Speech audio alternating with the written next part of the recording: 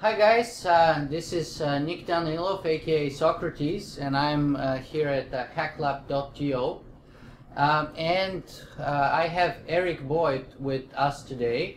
Eric is uh, one of the co-founders of StumbleUpon and a very interesting guy altogether. And, and I thought he would make a very interesting subject for Singularity One-on-One.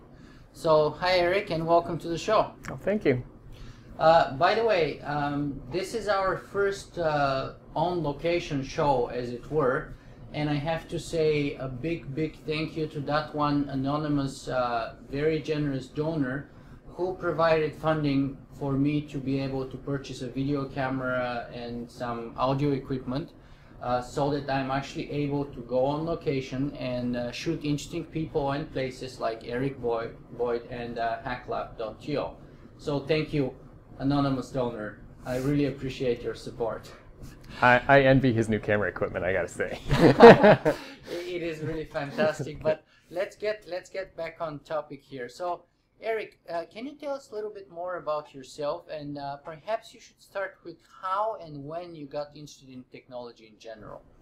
I I'd pretty much always been interested in technology. I remember the first computer I had as a kid was the Commodore 64. I was probably 10.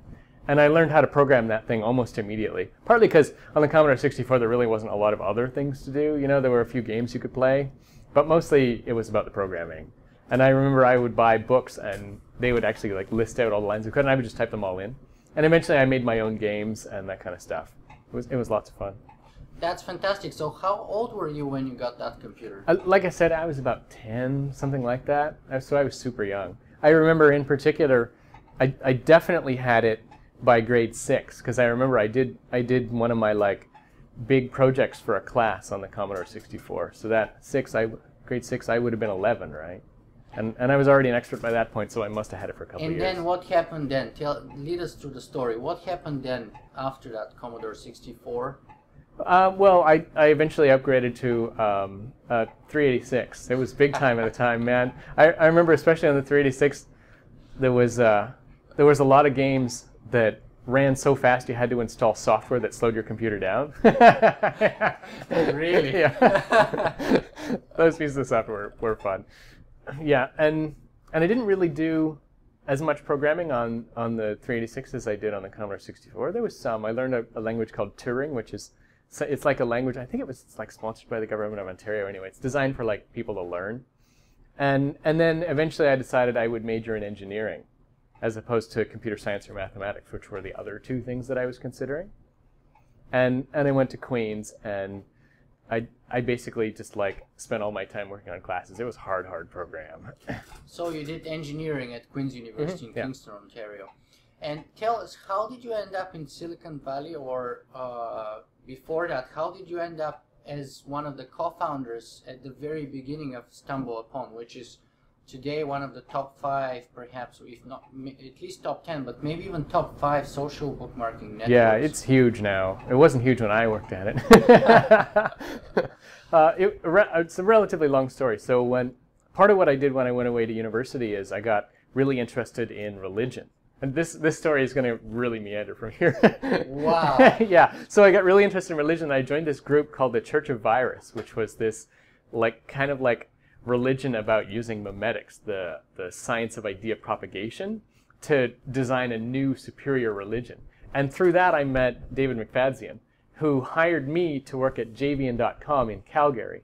And Javien was the like classic.com. We had money from like an oil tycoon, Russian oil tycoon, like billionaire guy, and we had this like ridiculous, unbelievably huge scope and like 20 employees and no hope of like actually implementing the this the scope of the idea. It was a really cool idea. This like we had this like it was gonna we were gonna fund ourselves with micropayments by skimming skimming money off micropayments. It was gonna be like a financial infrastructure for the web, and associated with the micropayments was going to be this identity scheme, and then the identity scheme required this like social forum stuff, and there were all these interacting pieces, and it was really cool. But it didn't work, and and when the dot com boom collapsed, we went down just like everybody else, right?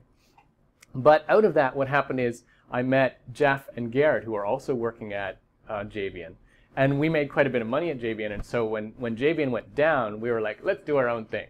And we found uh, Justin as well. No, it was Justin who worked at, yeah, Justin who worked at JVN and Garrett who didn't. But anyway, the four of us started StumbleUpon after JVN went down. And one of the reasons it stumbled upon was it was so good right out of the gate is we had lots of time at JVN. We had about six months while we were working there that we knew JVN was going to go down, and we were brainstorming ideas about what to do for like the whole six months. So by the time we had our opportunity, our freedom, we had this like long list of ideas, and we chose the best one and we already knew exactly how to implement it and exactly all the steps to take. Which is why, like, I think it was only three months and we had the first beta of StumbleUpon out, and it's very much similar to exactly what you see today. There's like a toolbar with a button, and you pick some categories, and it recommends content on the web. Like, yeah, three months we delivered it. like. and what was your part specifically in that toolbar? What did you do? So, so I actually did the toolbar for Internet Explorer. That was my part, and um, Jeff did the toolbar for um, what at the time was called Mozilla, but eventually became Firefox. Yeah. Yeah, and uh, Garrett did the backend server. He actually did the thing that would um, categorize all of the sites and maintain the database of ratings and do the recommendation. Mm-hmm. And Justin did all of the like business and accounting and patent and like all that like stuff that the rest of us couldn't tolerate at all. you need a guy like that in a startup, by the way. we would be nowhere with it. So basically, it was four of you guys starting Stumble. It was four of us, yeah. That's awesome. And and uh, where was that? That was in Calgary. In Calgary. So so lead us to the story. I know that at some point you decided to part ways. So what mm-hmm. happened afterwards? So so what happened afterwards? I worked there for about nine or ten months, and uh, and I was in the weakest position. I had the least money. Um, Garrett and uh, Justin were both living with their parents, and Jeff had more money than I did. So I was like the weak financial link. I, I basically had to leave because I realized like it was it was the dot com collapse. That like if you approached anybody with a business plan that said dot com on it, man, you were laughed out of the room. yeah. yeah. So there was no way we were going to get money, and and our user base was growing and our revenues were growing, but they were not growing anywhere near fast enough that we were going to be able to pay the four of us salaries at any kind of rate in the next couple of years. And so I didn't have enough money to stick it out. And I considered like borrowing from my parents or whatever. But the other thing that had happened is to join JVN, I'd left my degree at Queen's. I had three of the four years done. I see. And I decided that if I was ever going to go back, I should go back now and finish my degree because it had already been three years. So that's what I did. I left StumbleUpon to go back and I finished my degree at Queen's. So you actually completed your engineering? Yeah, I completed my degree. That's why I got the Iron Ring now. So I completed my engineering degree. And that's right. how I got into Silicon Valley. Because once I had the engineering degree, then I was um, eligible for the TN visa, the NAFTA visa, and yeah. I, that's how I got into the States. A company there wanted to hire me, and they I used my diploma to get the TN visa. So you worked at StumbleUpon in Calgary, you went back to Queens to finish your mm-hmm. engineering degree, and then you end up in Silicon Valley. So tell us a little bit more about that.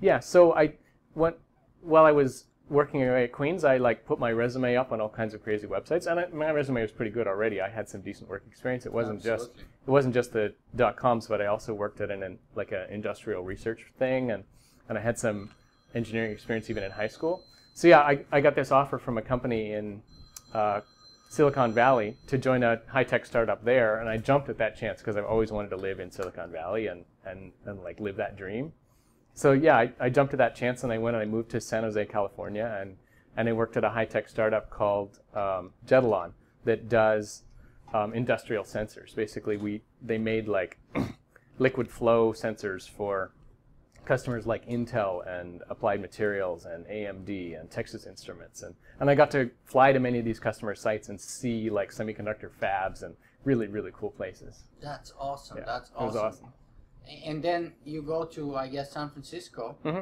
and uh, yeah, so the um, Jetalon moves from San Jose to uh, Walnut Creek or Pleasant Hill, I think, uh-huh. and and I moved to San Francisco because it's a convenient ride on the public transit there, and I live in San Francisco and I and I go part time at um, Jetalon so that I can work on my own things for a while, right? I, I do three days a week for the longest time and I'm mm-hmm. experimenting on the side, and that's when I find Noisebridge, the hackerspace in San Francisco, and and I like that place is just so incredible. I mean, if you think Hack Lab is incredible, you need to go see Noisebridge. 5,600 square feet of exactly this kind of like density. Oh so there's God. all it, like here we do like basically like hardware, electronics, and programming. Mm-hmm. At at Noisebridge, they have whole areas that are dedicated to like you know sewing. There's like a sewing corner, and there's uh, there's a science corner where they do like um, EEG stuff, and there's uh, there's like a whole wood shop and metal shop. There's a big kitchen where they actually do meals many nights a week. There's a couple of awesome classroom areas. Yeah, it's like this place times ten, right?